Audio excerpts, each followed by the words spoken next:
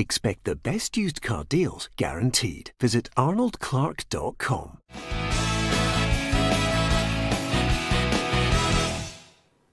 Welcome to Peter and Ruffy's football show, sponsored by Arnold Clark. It is Friday. I'm Peter Martin. Thank you to each and every one of you for joining us on the programme, our ever growing audience. Uh, and on this Friday, it's back to domestic issues for Alan Rough and Barry Ferguson to talk about. And here's what's on the menu.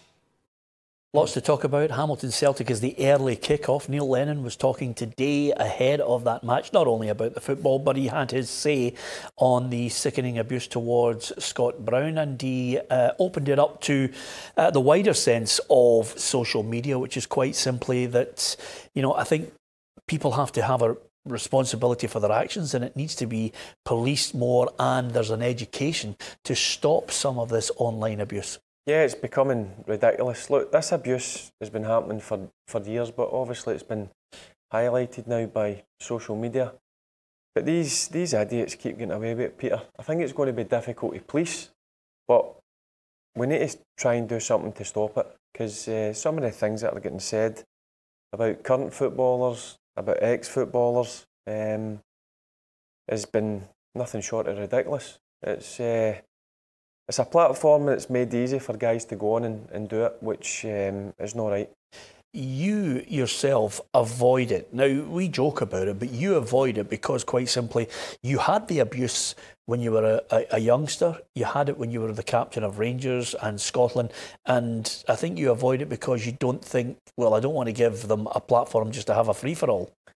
Yeah, look, I, I still suffer it. It's not as bad, don't get me wrong, as during my certainly my Rangers career. Um, I still get it every now and then, which is no nice. But as you get older, you you mature a bit and you, you try and walk away from it. You know what I mean? But back in the day, it was difficult for me at times when you're walking down the, the, the street with your kids and you're you're getting shouted abuse at, which is no nice. I don't think it's right. On a pitch, Peter, I never minded it. Um, whether I was getting bawled at or sworn at or whatever you want to call it, that was part of the football. But off the pitch, um, I just didn't enjoy it. It's part of the part of the game that I, I just it, it, frustrated me. Um, at times, I never reacted in the right way. But as I say, as you get older, you tend to try and walk away from it now. Yeah, Ruffy, no such problems for you because you're still operating your Nokia 3210. it doesn't have any pictures on it. You don't even know what the internet is at times. No, but I think uh, the younger generation, particularly the younger footballers who are, uh, have to be educated on it. You know, we saw a lot of mishaps happening just because of just a wee bit of fun and a night out or whatever and uh, these things will come back. And I think that, I think the, the clubs now are beginning to counsel the, the younger players to tell them, look, this is what you have to do. Just stay away from it as much as you can. Yeah, uh, of course, Neil Lennon mentioned the fact that you know in these modern times, some people think it's okay to put abuse out there. I think it sometimes it makes young ones think that it's all right, you know, and it's not. And again, we are having people in authority and footballing authorities and, and players of the highest caliber asking social media networks to clamp down on it. It has to stop because there's no accountability or responsibility to these individuals to basically put out on a public forum what they want to say. You know, we all live in a dem- democracy, but there has to be a line drawn somewhere because it's against the law. It's illegal, and the, these platforms allow this illegality to happen. Yep, moving on to the football itself. Hamilton against Celtic is the early kick-off. All the Premiership fixtures taking place on the Saturday. Will Hamilton put a spoke in the works um, with regards to Celtic? They're unbeaten this season. Uh, no, I can't see it. I think Celtic will be full of confidence after the Old Firm performance and obviously getting the three points. Um, and look, Hamilton will try and make it difficult for Celtic, but I think Celtic have, uh, will have far too much quality, and I can only see Celtic winning this game. Yeah, I think so as well. I think it might be a wee bit of a struggle early on getting the, the surface. You know, a lot of people, players have to get their head round playing in it. But I, I agree with Barry. I think there is, you know, too much quality in that Celtic side. It depends how much Neil tampers with it. He might go along give introducing some players that have been playing, but I think in the end of the day they'll win two nothing. Yeah, uh, and the one thing I would say, you know, we're looking at the uh, the goals for column. They've scored 17 goals, conceded just three. The mainstay of that, the man who's gathering all the plaudits, Barry, is Odsonne Edouard, scoring for France under 21s on two occasions. Um, he really looks the real deal. You, you think he's going to be even better than what's gone before? Yeah, I think he's got the potential to be better than Dembele. Um, that that's my my opinion. It might differ for other people's, but when he's in top of his game, Peter, he's a real handful. Um, and one on one, you always fancy him scoring. Um, he can look lazy at times, but that's just his mannerisms. But when he's on fire, he's a top striker. Okay, uh, from Hamilton against hmm. Celtic to Rangers, their match, uh, of course, against Livingston. But prior to the game, Steven Gerrard certainly not happy with the SFA and the Scotland manager in particular, um, because Ryan Jack has picked up uh, an injury uh, that he believes was sustained uh, uh, by being overtrained with the international squad. He's a doubt for the weekend. Um, unfortunately, he was asked to do uh, an 11k session uh, two days after no firm, which made his knee flare up. So um, we've had to manage him. Um, he's he's had to have a couple of procedures since. Um, he done a light session with the physio today, and we're hoping to get him into training for tomorrow. Well, it's fair to say, Ruffy, he had the injury before he went uh, on mm-hmm. international duty. Yeah, it's a tough one to call, you know, because obviously the players went there uh, hoping that he might get picked. So he's going to put in a fair shift to impress Stevie Clarke. So anything he's asked to do, he's going to do it, you know, and it's just unfortunate that it's flared up. It's a tough one. But teams like Rangers and Celtic have loads of players away in international duty. You know, something's going to happen, whether it's at training or whether it's during the game. So it's just part and parcel of the job now. I think that's the reason that a lot of clubs don't like the players going away in international football if they're carrying a wee bit of an injury. Yeah, nice to see uh, Gary Holt back after that health scare uh, in the dugout for Livingston. Of course, they're just a point behind Rangers, two wins, two draws for Livy this season. It's been a great start to the season, but if they're going to do something, they might have to do it against a man who's been signed for £7 million by Rangers. Ryan Kent says he's itching to get in there, get started, and repay some of that fee. I think I just got to go and deliver again and, and more. Um, you know, I have ambitions as a as a footballer to get to get to the highest level, and you know that's what I, what I want to do. So, I, you know, I know the expectancy of, of me as a footballer and what I need to go and do. Well, if there's excitement around the likes of Alfredo Morelos last season, uh, certainly Ryan Kent was hogging the headlines as well. How big a star do you think he could become for Rangers? Yeah, I think again um, he's got huge potential. He's, he's shown that to the Rangers management team, the Rangers fans, and, and Scottish football fans last year. I thought he was Rangers' top player, certainly in the big games he produced.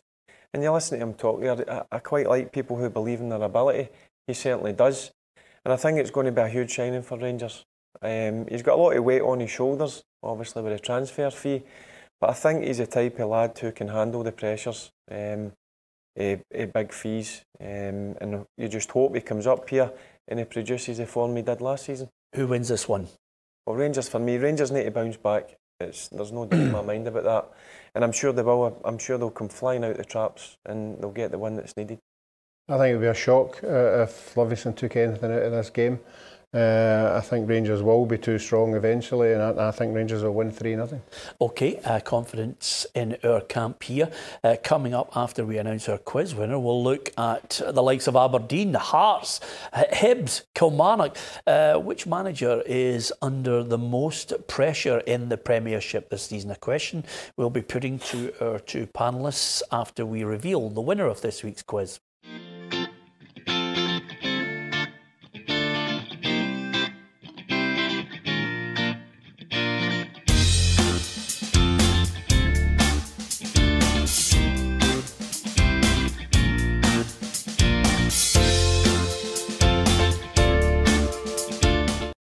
Well done to Eddie Higgins. Of course, we were giving you clues this week to Arsenal against Manchester United in 1979. It was a fantastic FA Cup final. No point looking at Barry. He wasn't here. Nobody had heard of Barry Ferguson in 1979. Yeah. A year old. Oh, were you a year old? Were you? a year old. Oh, there you are. Still in the pram. Yeah. Yeah, it must have been. Yeah, okay. And from yourself, Ruffy, 79, it was a great cup final. Uh, Alan Sunderland scored the winner. It was fantastic. End to end stuff. You know, uh, the goalie took a wee bit of stick with the winner. Yeah. Big South You weren't African. happy with Gary Bailey, were you? Yeah, he sort of came out and flapped at it a wee bit, and uh, but he was a good big goalkeeper. But to lose it like that, you know, it was a tremendous game. And we spoke about Liam Brady, who absolutely just controlled the whole game from start to finish. Yeah, he had a brilliant left peg on him. Uh, okay, from the winner of the quiz, here's how it looks over the weekend. We've talked about Celtic and Rangers, Hamilton Celtic, the early kick-off. Uh, of course, Aberdeen, St Johnstone, Hearts, Motherwell, Kilmarnock, Hibs, the aforementioned Rangers, Livingston, and Ross County against St Mirren. So let's talk Killie. Uh, of course, uh, the managers come in for a fair bit of flack on this one, Barry, because Kirk Broadfoot had a, a little shot across his broadside, um, and the manager says, "Well, I'm going to stick to my training here." You know, there's been a few people who uh, certainly haven't been happy with it, and I'm just hearing that, um, of course. Um, Jamie MacDonald, the goalkeeper, uh, has been loaned out to Alloa. So clearly, he's starting to clear out some of the people that really performed for Steve Clarke last season. Yeah, he's um, he, he's obviously brought a few of his own players in. Um, look, a new manager comes in, he's got his own way of working. Some people enjoy it, some people won't. But listen, he, he's a man in charge. If he feels it's right to do certain training regimes, you've got to stick to it. And if you don't like it, well, it seems to me that you, you need to go. Yeah, um, listen, Killie have won just once in the league this season. Um, I have to say, I had him down as my favourite uh, for the sack race. There's somebody coming right up on his shoulder at the moment, but we'll get to him in a minute. Um, but nevertheless, I also have in this three horse race Paul Heckingbottom, who'll be in the opposite dugout um, because Hibs have been far from impressive. Yeah, the, the, I, I'm surprised because they have got a bit of quality in that team. Peter, I, I, obviously the main guy, Scott Allan, but to me he's playing out of position. Um, I think centrally he makes a big difference. So he, he'll be under pressure as well. Hibs are a big club. They're get high expectations. Yeah. Not just the board, but the, the supporters there.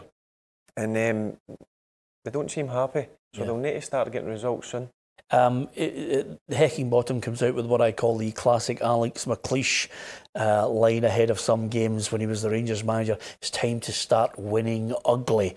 I always, I always, I always get worried about that. Hibs have conceded 11 goals. It doesn't take a rocket scientist to work out what the problem is. It is. It's defensively, you know, and I think they're very good players in midfield. Scott Allan and Mallan, good technical players. Not got a lot of steel about them. And if you look at, I think it was a Motherwell game, the Motherwell midfield were just brushing them aside, and uh, that that for me is the weakness. There's no like strength in that midfield, and uh, people are just running over the top of them. If you've got two players like that, you try and build your team round about it. Yeah.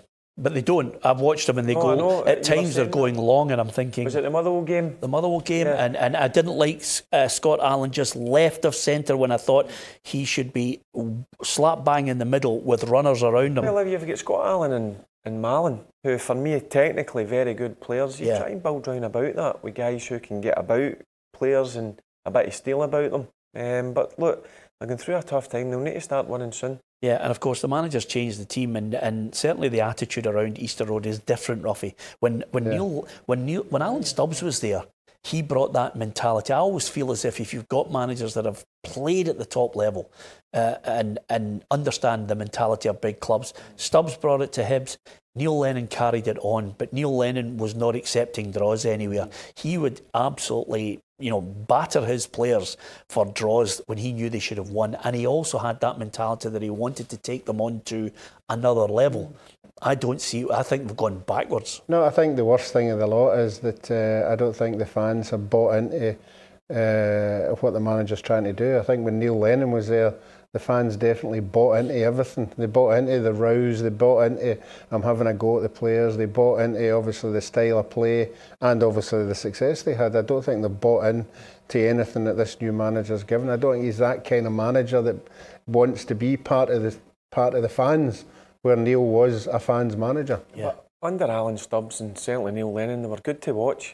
Going forward, they were exciting. Listen, they leaked some goals, but you always knew that they were um, they were capable of scoring goals at their end. Yeah, absolutely. Um, not a bad midfield at that time as well, with Dylan McGeouch and John McGinn. Um, okay, if we're uh, worried about what's happening at Hibs, we're even more worried about what's happening at Hearts.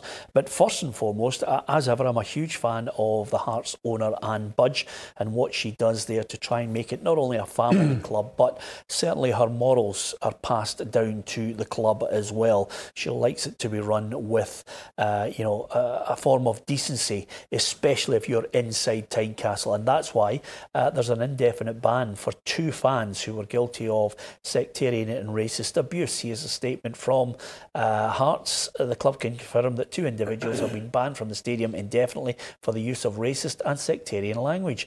As per the club's unacceptable conduct policy, any person engaging in unacceptable conduct of this nature will be the subject of an investigation, which in this case has resulted in indefinite bans from Tynecastle Park. Well done. Once again, she's not somebody that can be accused of just skirting around the issue.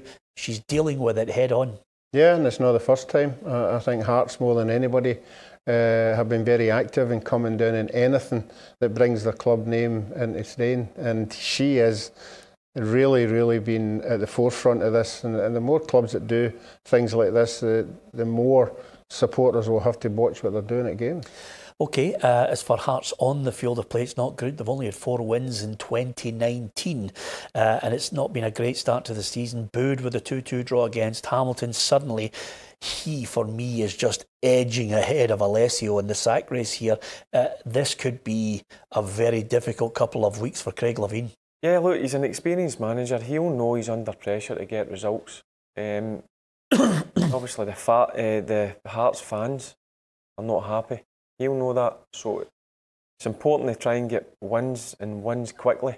But I don't think they'll do it against Motherwell. I think Motherwell just get a funny feeling, feeling that Motherwell can go to Tynecastle and certainly the first 15, 20 minutes, if they keep that crowd quiet, then I think Hearts are in for a difficult afternoon. Yeah, uh, I think you sometimes, Barry, are guilty of sitting too near Ruffy, and that's where mispronunciation comes, you know, um, because certainly the Farts fans hope they don't turn up because that'll just be just be a rotten game for everybody, Ruffy. no, do you know what? You know,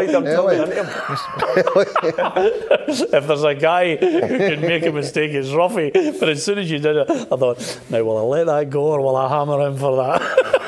anyway, Ruffy, the Motherwell have signed um, Bevis Mugabi. Now, not a really good name uh, at the moment, but I'm sure he's uh, got qualities that will fit right in uh, at Fir Park. Uh, Stephen Robinson said with the injury to Dunne, had to get him in there mm. to try and bolster them. Well, it just shows you how, how these managers have to have contacts everywhere, you know, because obviously we've never heard of this guy and uh, he's obviously had good reports about him, and he'll probably throw him right in at the deep end. Yeah, it's not quite the worst name.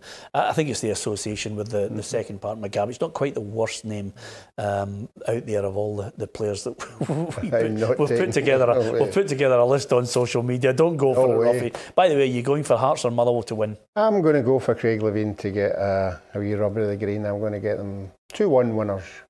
Yeah, uh, mm-hmm. uh, you've gone for them two one. Did you go for them two one in the actual predictions? Yes, I certainly yeah, did. Yeah, you did. did. Okay, uh, just got to keep keep you right, Ruffy. Aberdeen against St Johnstone. Is this one of those days, Barry, where Stevie May suddenly comes back, scores a hat trick against, uh, you know, a team where he really he just didn't have his shooting boots on? Yeah, I was surprised he didn't do as well up there. Um, I, I always liked him. He, for some odd reason, he struggled at Aberdeen.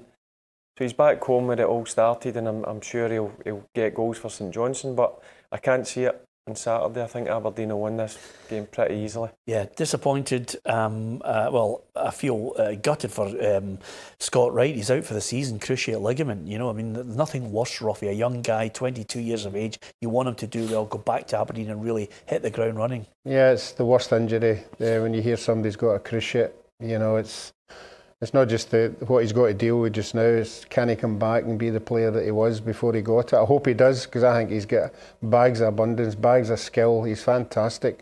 Tried to get him at Partick Thistle before he went to Dundee yeah. and loan. So, yep, uh, it's a tragedy for a young player like that. Who wins? Aberdeen for me, 2 0. 3 0 Aberdeen. Okay, confidence there. Um, as far as Ross County St Mirren, um, I haven't. I've tipped St Mirren to go down it, which is amazing when you consider um, Jim Goodwin in charge there. But uh, I think Ross County uh, at home is going to be a difficult one for them. I think this is a kind of a game where Jim Goodwin will be saying to his players, this is the team that we could be contesting to stay in the division at the end of the season? No, I think Jim Goodwin's brought in some good players, uh, a couple of players away in under 21 duty, so I think they'll get the benefit of that. And they have been a lot better than what they were at the start of the season, so I think they'll be good enough to go up there and get a draw. I think he'll get his first one. Yeah. Yep. Okay, there you are. A bit of confidence for you. Um, Jim will no doubt be delighted with that prediction from Barry. Just a couple of people I want to mention before we finish off. Barry Billy Gilmour, four year deal at Chelsea. That's fantastic news for the young lad. Yeah, it just shows that he's impressing uh, the main man there, Frank Lampard. Um, I, I've said, listen, he's got all the ability in the world, this young kid. Uh, if he keeps progressing, I'm sure he'll be in that Chelsea first team soon and in your national team. Yeah. And the final thing I'd like to say is uh, good luck to Chris Doolan. He's having a testimonial at Firhill, four o'clock on Sunday. It's a Partick Thistle Legends team against the Celtic Legends 11 as well. Uh, I think we're now starting to use the word legend, legends a, a, little bit liberally, Ruffy. I mean, if, there, if it was legends, you'd be in goal, surely. I was asked if I wanted to play. Yeah? Uh, yeah, uh, but I'm, I'm, afraid I'm a bit old for that now. But uh, he was there 10 years. You yeah. know, there's not a lot of players, you know, are at clubs modern day now at 10 years, so he deserves it. Yeah, just uh, on the footnote to uh, Scotland, it's been a, a difficult uh, two games for Scotland trying to make it to Euro 2020. I did mention earlier in the week that we had a photograph which shows you the difference between the team that Ruffy played in and the teams that we have now. And if you look at that side, I think well, this picture only features 10 players in it, but it's significant. Ruffy obviously won the League Cup with uh, Partick Thistle.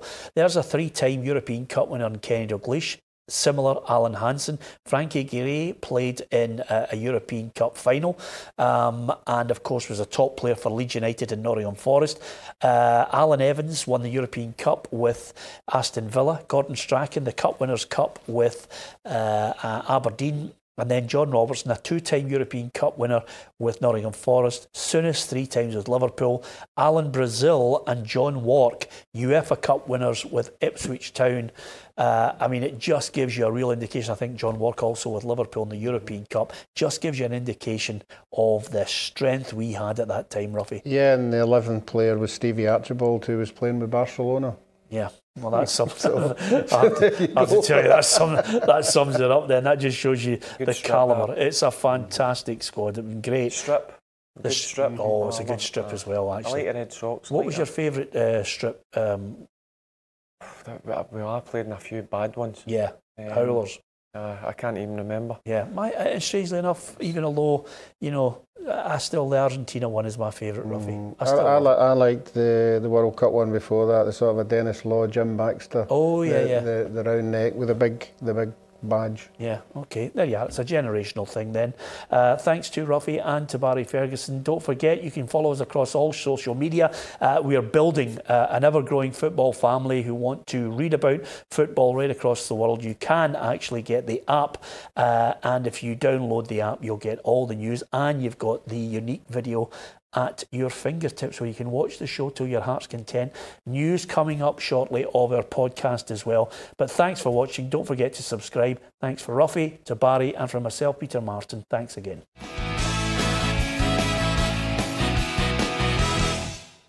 Expect the best used car deals guaranteed. Visit arnoldclark.com.